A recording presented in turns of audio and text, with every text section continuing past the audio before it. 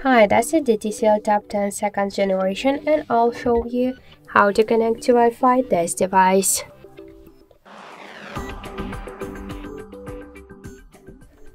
So open first the control panel and you'll see here the Wi-Fi icon. Just click on this icon to activate Wi-Fi or to turn it off.